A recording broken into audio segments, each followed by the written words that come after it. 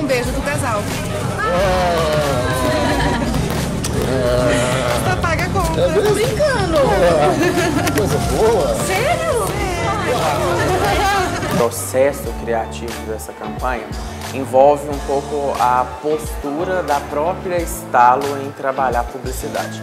Hoje nós trabalhamos aqui de uma forma integrada, ou seja, os departamentos de mídia, planejamento digital são integrados no que a gente chama de núcleo de inteligência e ele faz com que é, todo briefing, toda demanda que entra na casa, ela passe por esse processo de intenção de estar propondo algo para o Dia dos Namorados. É, o Departamento de Planejamento começou a fazer uma série de pesquisas de ações.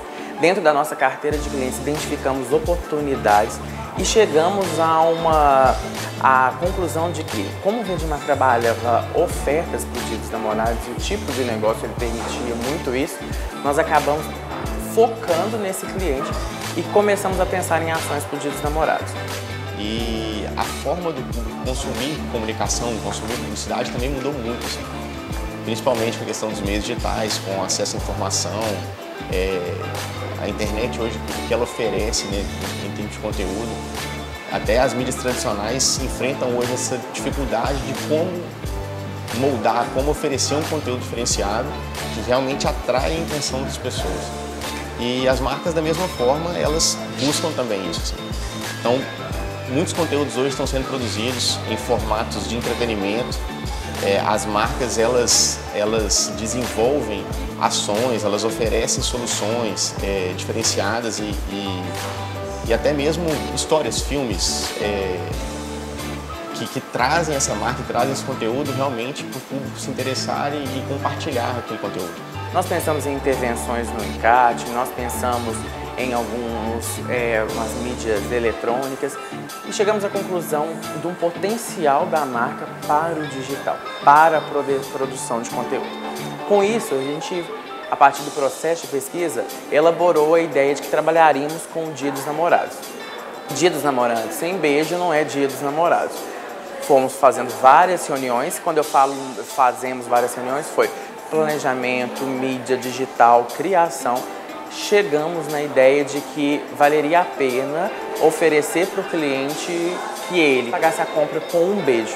A Estalo ela não é responsável pela conta digital do Vedimar, mas acredita muito no potencial da empresa, que é muito conhecida em Belo Horizonte, ela pode ser considerada uma love mark, e nós fomos então com a ideia formatada, com os custos para apresentar para o cliente. As marcas hoje que elas procuram realmente são boas ideias é, de, de conteúdos que elas possam oferecer para seus clientes e os clientes, enfim, compartilharem e curtirem de uma forma natural, de uma forma espontânea. E isso realmente é, vira um material bem interessante. O investimento em mídia é um investimento que fica um pouco mais baixo, porque o trabalho de web hoje permite que você faça, você divulgue seu conteúdo com um investimento mais baixo e acaba que o, o investimento maior vai para a produção. E isso, de certa forma, também é interessante para a comunicação, permite com que a gente é, viaje um pouco mais, tenha ideias mais elaboradas e realmente consiga dar vida para essas ideias. Então, a produção de conteúdo, é, realmente, ela, ela mudou bastante na comunicação.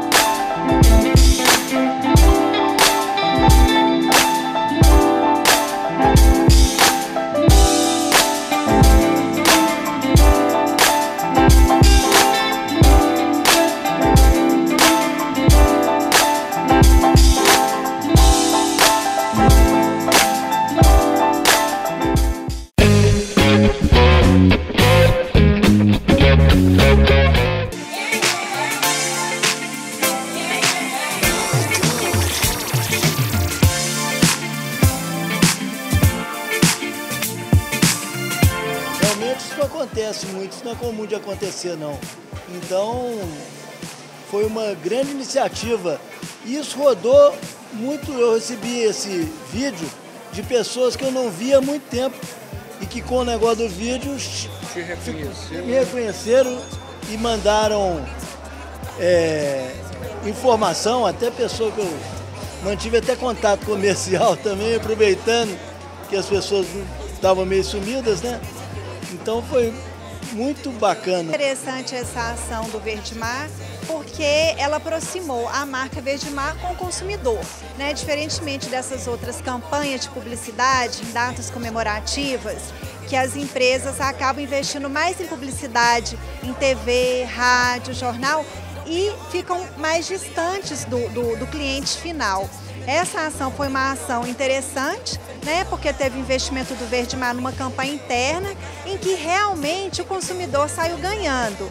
Ele apenas não visualizou a marca em uma dessas mídias, ele participou da campanha. Então eu acho que as outras é, empresas, as outras marcas deveriam investir mais nessas campanhas que aproximam o consumidor do seu produto e até mesmo que é, é, fazem com que o consumidor possa ganhar em cima dessa campanha. Não seja uma coisa assim tão distante, tão é, é, institucional, de apenas em é, é, campanhas, ações em jornais, revistas, em que o consumidor também, ele não vai ganhar nada diretamente com isso. Ele apenas vai conhecer a marca e vai ter um conhecimento maior sobre o produto. Mas em termos assim, é, é, do produto na prática, né, de conhecer na prática, é, eu acho que vale mais esse investimento em ações próximas do que nessas ações mais institucionais. Muito legal porque é, motiva né, a pessoa a vir no, no supermercado e eh, vende mais também, porque a pessoa quer vir no supermercado, quer fazer a compra para ver se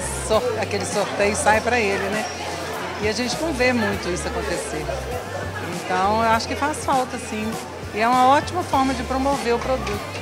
Né?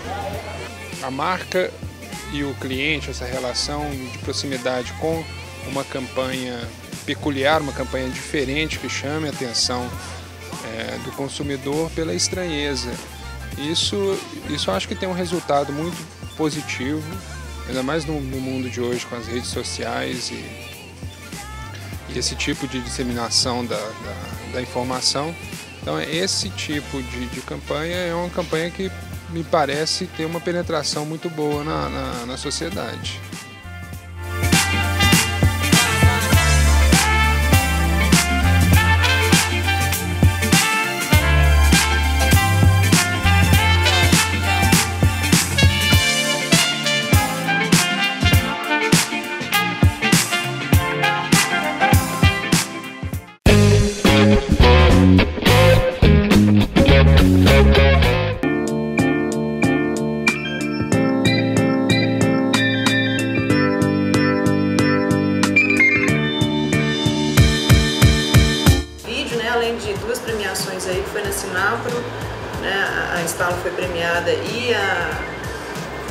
O prêmio Octo também.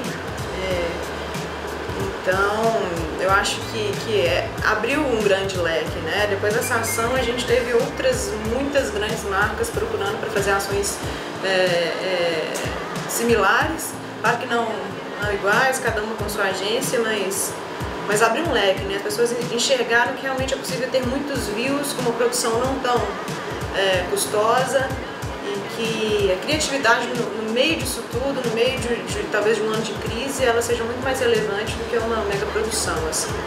Né? Existem casos que a gente precisa fazer uma mega produção, de fato, mas existem cases que se a gente conseguir entender o que é esse cliente, uma ideia criativa para ele e uma captação perfeita, isso vai ter esse desdobramento aí, alcançando outras empresas no, no, no processo também.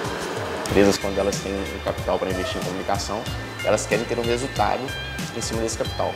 Mas esse tipo de conteúdo que é produzido, como foi produzido o vídeo do Verde Mar, ele permite que a marca tenha um ganho institucional, né, um ganho é, de divulgação de marca, de, de enfim, tenha um, uma penetração da marca muito grande em públicos que também não conheciam a marca, enfim, é, o, o, ganho institucional é muito grande e ao mesmo tempo ela tem um resultado é, real de vendas efetivos. A gente teve um resultado agora nessa campanha do Verde Mar, que no Dia dos Namorados, que é uma data que não é uma data forte para o varejo, a gente conseguiu o mesmo movimento de loja que o Natal, que é a principal data do ano. Então, uma ação que teve um ganho institucional muito grande, a gente teve é, quase 500 mil visualizações, é, um número muito alto de compartilhamentos. Então, o institucional, a marca Verde Mar ganhou muito, comentários muito positivos e, ao mesmo tempo, o resultado de loja foi muito grande, foi efetivo. A gente teve um, um, um aumento percentual de vendas muito, muito grande, muito satisfatório. o vídeo ele teve uma, uma repercussão bem legal na web e no mobile também, hoje com o WhatsApp, tudo, que é uma, uma grande enfim, forma de divulgação de vídeos, né? E depois disso a gente teve, enfim, procura de várias outras grandes marcas querendo vídeos de, de ação, né? Vídeos que, que, trabalham essa coisa com o público, com o cliente dessas marcas, né? Que mexe com a emoção, com a reação real das pessoas. As pessoas enxergaram que realmente é possível ter muitos views com uma produção não tão é, custosa e que a criatividade no, no, meio disso tudo, no meio de, de, talvez de um ano de crise, ela seja muito mais relevante do que uma mega produção. Assim. Né? Existem casos que a gente precisa fazer uma mega produção, de fato, mas existem cases que se a gente conseguir entender o que é esse cliente, uma ideia criativa para ele e uma captação perfeita, isso vai ter esse desdobramento aí, alcançando outras empresas no, no, no processo também.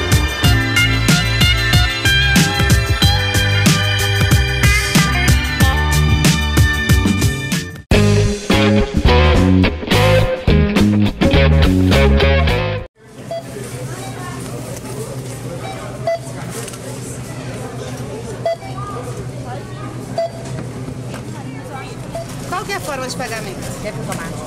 Hoje a gente está com uma promoção no Verdemar, onde você pode pagar no crédito, no débito ou com um beijo do casal. Só paga a conta. É mesmo? brincando. Coisa boa. Sério? Você não paga a conta. Você deu um beijo? Sim. Aqui?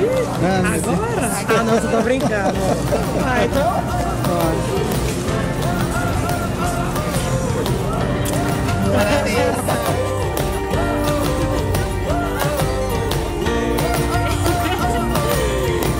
A conta tá paga? Tá paga. Sério. Sério.